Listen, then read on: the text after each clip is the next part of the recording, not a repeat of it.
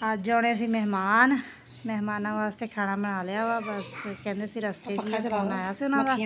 ਫਿਰ ਤਿਆਰੀ ਕਰਕੇ ਰੱਖ ਲਈ ਆਉਂਦੇ ਆ ਕਹਿੰਦੇ ਸੀ ਅਸੀਂ ਵਾਪਸ ਜਲਦੀ ਜਾਣਾ ਵਾ ਇਸ ਕਰਕੇ ਫਿਰ ਜਲਦੀ ਜਲਦੀ ਅਸੀਂ ਕਿਹਾ ਖਾਣਾ ਹੀ ਸਾਰਾ ਤੋਂ ਪਹਿਲਾਂ ਦੇ ਦਾਂਗੇ ਕਿਉਂਕਿ ਉਹਨਾਂ ਦੇ ਪਿੱਛੇ ਕੋਈ ਮਹਿਮਾਨ ਆ ਗਏ ਉਹਨਾਂ ਨੇ ਵਾਪਸ ਜਾਣਾ ਸੀ। ਇਸ ਕਰਕੇ ਖਾਣੇ ਦਾ ਇੰਤਜ਼ਾਮ ਜਲਦੀ ਜਲਦੀ ਕਰਕੇ ਉਹਨਾਂ ਦੇ ਆਉਣ ਤੋਂ ਪਹਿਲਾਂ ਹੀ ਰੱਖ ਦਿੱਤੀ ਹਰ ਚੀਜ਼। ਅਸਲਾਮ ਵਾਲੇਕੁਮ ਮੇਰੇ ਪਿਆਰੇ ਦੋਸਤੋ।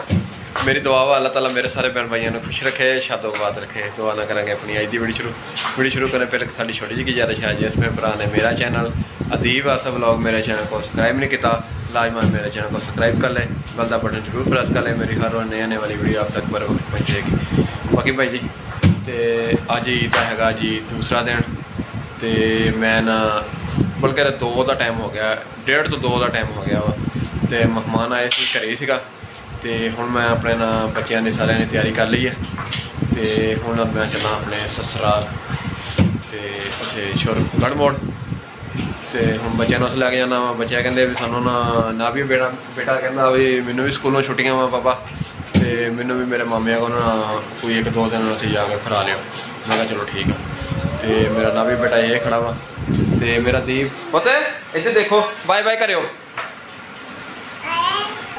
ਤੇ ਦੀ ਮੇਰਾ ਪੁੱਤ ਖੜਾ ਜੀ ਉਹ ਦੇਖੋ ਜੀ ਉਹ ਵੀ ਆਪਣਾ ਟੈਨਸ਼ਨ ਹੋ ਕੇ ਆਪਣੀ ਨਵੀਂ ਜੁੱਤੀ ਪਾ ਕੇ ਤੇ ਸੋਹਣਾ ਸੂਟ ਪਾ ਕੇ ਲਾਗੇ ਖੜਾ ਵੀ ਮੇਰਾ। ਤੇ ਕਹਿੰਦਾ ਪਾਪਾ ਚੱਲੀਏ ਕੰਮ ਤੇ। ਨਵੀਂ ਬੇਟਾ ਵੀ ਮੇਰੇ ਲਾਗੇ ਜਾ ਖੜਾ ਹੋ ਗਿਆ ਜੀ। ਅੱਜ ਵਾ ਜੀ ਈਦ ਦਾ ਦੂਸਰਾ ਦਿਨ। ਮੇਰੀ ਨਨੰਦ ਨੇ ਫੋਨ ਕੀਤਾ ਸੀ ਕਿ ਮੈਂ ਆਉਣਾ ਵਾ। ਉਹਦੇ ਮੀਆਂ ਸਾਹਿਬ ਹੁੰਦੇ ਆ ਇਸਲਾਮਾਬਾਦ। ਇਸ ਕਰਕੇ ਫਿਰ ਉਹ ਈਦ ਦੀਆਂ ਛੁੱਟੀਆਂ ਤੇ ਆਏ ਸੀਗੇ ਤੇ ਕਹਿੰਦੀ ਮੈਂ ਮਿਲ ਕੇ ਜਾਣਾ ਈਦ ਮੁਬਾਰਕ ਕਹਿਣ ਆਉਣਾ। ਮੈਂ ਕਿਹਾ ਚਲੋ ਠੀਕ ਆ। ਫਿਰ ਉਹਨਾਂ ਦੇ ਆਉਣ ਤੋਂ ਪਹਿਲਾਂ ਖਾਣੇ ਦੀ ਤਿਆਰੀ ਕਰਕੇ ਰੱਖ ਲਈ ਆ ਕਿਉਂਕਿ ਉਹਨਾਂ ਨੇ ਲੇਟ ਹੋ ਜਾਣਾ ਵਾ ਕਾਫੀ ਸਾਰੇ। ਇਸ ਕਰਕੇ ਫਿਰ ਉਹਨਾਂ ਦੇ ਵੀ ਪਿੱਛੇ ਮਹਿਮਾਨ ਆ ਗਏ ਸੀ ਫੋਨ ਆਇਆ ਸੀ ਕਿ ਅਸੀਂ ਬਸ ਆਉਣਾ ਤੇ ਥੋੜੀ ਦੇਰ ਲਈ ਅਸੀਂ ਕਿਹਾ ਫਿਰ ਚਲੋ ਖਾਣਾ ਬਣਾ ਲਈਏ ਜਲਦੀ ਜਲਦੀ ਫਿਰ ਜਦੋਂ ਆਉਣਗੇ ਤਾਂ ਉਹਨਾਂ ਨੂੰ ਖਾਣਾ ਸਰਵ ਕਰ ਦਾਂਗੇ। ਮਟਨ ਬਣਾਇਆ ਵਾ ਨਾਲ ਚਾਵਲ ਬਣਾਏ ਆ ਮਟਰਾਂ ਵਾਲੇ ਉਹ ਚਿਕਨ ਨਹੀਂ ਖਾਂਦੇ ਹੈਗੇ ਇਸ ਕਰਕੇ ਕਹਿੰਦੇ ਸੀ ਚਾਵਲਾਂ ਵਿੱਚ ਵੀ ਚਿਕਨ ਨਾ ਪਾਈਓ। ਮਟਨ ਬਣਾ ਕੇ ਨਾਲ ਚਾਵਲ ਬਣਾਏ, ਮਟਰਾਂ ਵਾਲੇ ਚਟਨੀ ਬਣਾਈ ਆ। ਬੋਤਲ ਮਿੱਠੀ ਡਿਸ਼ ਬਣਾਈ ਨਹੀਂ, ਕਿਉਂਕਿ ਉਹਨਾਂ ਨੇ ਐਮਰਜੈਂਸੀ ਦੱਸਿਆ ਸੀ ਕਿ ਅਸੀਂ ਆਣਾ ਵਾ ਤੇ ਫਿਰ ਜਲਦੀ ਵਾਪਸ ਜਾਣਾ ਵਾ। ਤੁਸੀਂ ਮਿੱਠਾ ਕੁਛ ਨਾ ਬਣਾਇਓ, ਮਿੱਠਾ ਅਸੀਂ ਕੋਈ ਨਹੀਂ ਖਾਣਾ। ਮੈਂ ਕਿਹਾ ਚਲੋ ਠੀਕ ਆ। ਫਿਰ ਅਨਾਬੀਆ ਵੀ ਬਾਹਰ ਬੈਠੀ, ਦੇਖੋ ਚਾਵਲ ਖਾਣ ਡਈ ਆ ਆਪਣੇ ਦਾਦੇ ਪਾਸ। ਕਹਿੰਦੀ, ਮੰਮਾ ਮੈਨੂੰ ਵੀ ਚਾਵਲ ਦੇ ਦਿਓ, ਮੈਨੂੰ ਭੁੱਖ ਲੱਗੀ, ਮੈਂ ਤੁਸੀਂ ਖਾ ਲਓ। ਅਦੀਪ ਦੇ ਪਾਪਾ ਗਏ ਆ ਬਾਹਰ।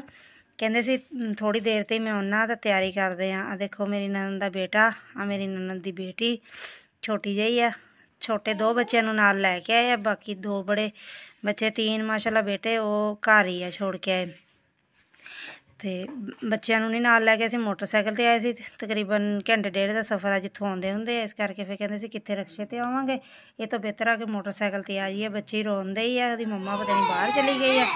ਅਦੀਪ ਸਾਹਿਬ ਆ ਗਏ ਆਪਣੇ ਰੂਮ ਦੇ ਵਿੱਚ ਅਦੀਪ ਨੂੰ ਸ਼ਾਇਦ ਲੱਗੀ ਆ ਭੁੱਖ। ਅਦੀਪ ਹੁਣ ਮੈਨੂੰ ਢੂੰਡਣ ਦੇ ਆ ਇਹਨੂੰ ਇਹ ਨਹੀਂ ਪਤਾ ਕਿ ਮੰਮਾ ਕਿੱਥੇ ਆ।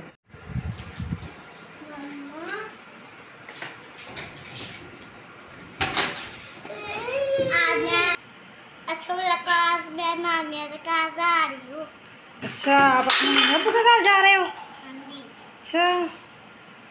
ادھر ادیب کے کام دیکھیں اب یہ کیا کیا یہ کیا کیا آپ نے اٹھاؤ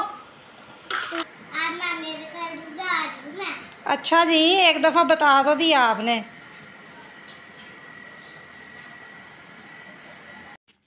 انابیا جا رہی ہے نانے ابو کے گھر ਦੇ ਅਸੀਂ ਸਾਰੇ ਜਾ ਰਹੇ ਹਾਂ ਨਾਵੀਆ ਮਾਸ਼ਾਅੱਲਾ ਬਹੁਤ ਹੀ ਖੁਸ਼ ਆ। ਨਾਵੀਆ ਨੇ ਸੁਬਾਹ ਦਾ ਪਤਾ ਨਹੀਂ ਕਿੰਨੀ ਦਫਾ ਪੁੱਛ ਲਿਆ ਕਿ ਨਾਨੇ ਘਰ ਕਿਦੋਂ ਨੂੰ ਜਾਣਾ, ਮਮਾ ਗੱਡੀ ਕਿਦੋਂ ਨੂੰ ਆਉਣੀ ਆ? ਦੀਵੇ ਬਾਬਾ ਸੁਬਾਹ ਗਏ ਸੀ ਕਿਤੇ ਕੰਮ। ਕਹਿੰਦੇ ਸੀ ਫਿਰ ਉਹਨੇ ਤਿਆਰੀ ਕਰਕੇ ਜਾਣੇ ਆ ਦੀਵੇ ਬਾਬਾ ਆ ਗਏ ਆ, ਹੁਣ ਕੱਪੜੇ ਵਗੈਰਾ ਪਹਿਨ ਲਏ ਆ। ਮਹਿਮਾਨਾਂ ਨੂੰ ਕਹਿੰਦੇ ਸੀ ਮੈਂ ਮਿਲ ਲਵਾਂ ਤਾਂ ਫਿਰ ਆਪਾਂ ਜਾਣੇ ਆ ਹੁਣ ਚੱਲੇ ਆ ਉਹਨਾਂ ਦੇ ਕੋਲ। ਉਹ ਖਾਣਾ ਖਾਂਦੇ ਸੀਗੇ, ਕਹਿੰਦੇ ਫਿਰ ਫ੍ਰੀ ਹੁੰਦੇ ਆ ਤਾਂ ਫਿਰ ਮਿਲ ਕੇ ਆਉਣਾ ਵਾ ਅਦੀਬ ਦੇ ਬਾਬਾ ਵੀ ਤਿਆਰ ਹੋ ਗਏ ਅਸੀਂ ਵੀ ਤਿਆਰ ਹੋ ਗਏ ਬੱਚੇ ਵੀ। ਹੁਣ ਚੱਲੇ ਆ ਅਸੀਂ। ਆ ਦੇਖੋ ਜੀ, ਮਹਿਮਾਨ ਬੈਠੇ ਆ। ਇਹ ਮੇਰੀ ਨਨਨ ਦਾ ਸ਼ੌਹਰ ਆ। ਅੰਮੀ ਹੁਣ ਗੱਲਾਂ ਕਰਨ ਦੇ ਸੀ ਬੈਠੇ।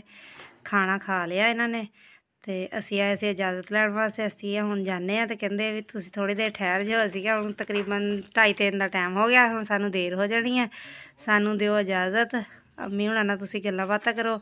ਰਾਵੀਆ ਕਹਿੰਦੀ, ਬਸ ਤੁਸੀਂ ਹੁਣ ਜਾਣ ਦਿਓ। ਦਾਦੀ ਦੇ ਸਰਾਣੇ ਪਾਉਂਦੀਆਂ ਖੜੀ ਹੈ ਕਿ ਬਸ ਅਸੀਂ ਚੱਲ ਜਾਈਏ। ਮੇਰੀ ਨਨਨ ਦੀ ਬੇਟੀ ਵੀ ਸੋਈ ਹੋਈ ਆ। ਬੇਟਾ ਵੀ ਸੋ ਗਿਆ ਵਾ। کھانا کھا کے۔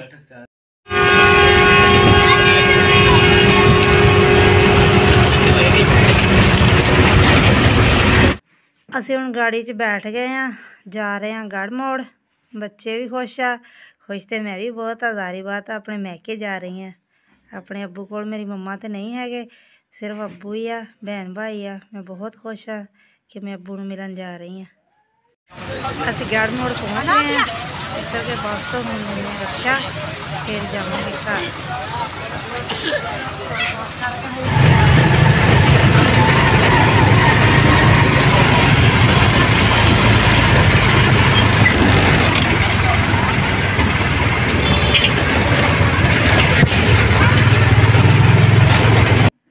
ਹੁਣ ਰਕਸ਼ੇ ਤੇ ਬੈਠ ਕੇ ਤੇ ਚੱਲੇ ਆ ਘਰ। ਆਪਣੀ ਗਲੀ ਵੱਲ ਨੂੰ ਮੁੜ ਗਿਆ ਰਕਸ਼ਾ। ਬਸ ਘਰ ਆਉਣ ਵਾਲਾ ਹੀ ਆ।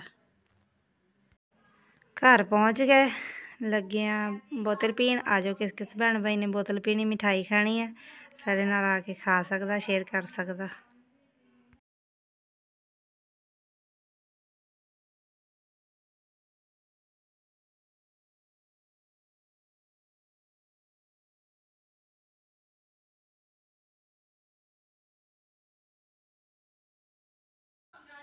ਅਨਾਬੀਆ ਨੂੰ ਤਾਂ ਮੌਕਾ ਮਿਲ ਗਿਆ, ਬਸ ਆਉਂਦਿਆਂ ਹੀ ਕਦੀ ਨਲਕੇ ਤੇ, ਕਦੀ ਕਿਤੇ ਕਦੀ ਕਿਤੇ। ਅਦੀਬ ਹਜੇ ਥੋੜਾ ਜਿਹਾ ਸ਼ਰਮਾਉਂਦਾ ਵਾ। ਅਦੀਬ ਹਜੇ ਸਿਰਫ ਚਾਰ ਪਾਈ ਦੇ ਇੱਧਰ ਉੱਧਰ ਘੁੰਮਣ ਦਿਆ ਵਾ। ਅਦੀਬ ਦੇ ਬਾਬਾ ਹੁਣ ਪੀਂਦੇ ਆ ਚਾਹ ਆ ਬੈਠੇ ਮੇਰੇ ਅੱਬੂ ਜੀ। ਅੱਬੂ ਜੀ ਦੀ ਅੱਖ ਬਣਵਾਈ ਹੋਈ ਹੈ ਇਸ ਕਰਕੇ ਬਲੈਕ ਐਨਕ ਲਾਈ ਹੋਈ ਹੈ ਉਹਨਾਂ ਨੇ। ਆ ਦੇਖੋ ਛੋਟੇ ਜਿਹੇ ਫੂਲ, ਮਤਲਬ ਫੂਲ ਜਿਹੇ ਲਗਾਏ ਸੀਗੇ ਅਜੇ ਫੂਲ ਤੇ ਨਹੀਂ ਆਏ ਹੈਗੇ। ਵੈਸੇ ਹੀ ਅਜੇ ਬਾਲਟੀਆਂ 'ਚ ਗਮਲਿਆਂ ਦੇ ਤੌਰ ਤੇ ਗਮਲੇ ਮੇਰੇ ਜਦੋਂ ਬੱਚੇ ਹੁੰਦੇ ਉਹ ਤੋੜ ਦਿੰਦੇ ਆ। ਫਿਰ ਅੱਬੂ ਉਹਨਾਂ ਨੇ ਉਹਨਾਂ ਨੂੰ ਗਮਲਿਆਂ ਦੀ ਬਜਾਏ ਬਾਲਟੀਆਂ ਦੇ ਵਿੱਚ ਫਿਕਸ ਕਰ ਦਿੱਤਾ।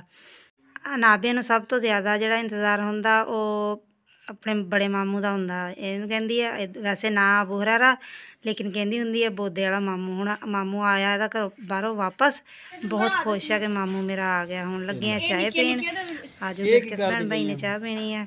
ਔਰ ਬਿਸਕਿਟ ਖਾਣੇ ਆ ਖਾ ਸਕਦਾ ਆ ਕੇ ਅੱਲਾ ਹਾਫਿਜ਼ ਸਵੇਰ ਨਈ ਵੀਡੀਓ ਕੇ ਸਾਥ ਜ਼ਰੂਰ ਮਿलेंगे ਆਪਣਾ ਔਰ ਆਪਣੇ ਬੱਚਿਆਂ ਦਾ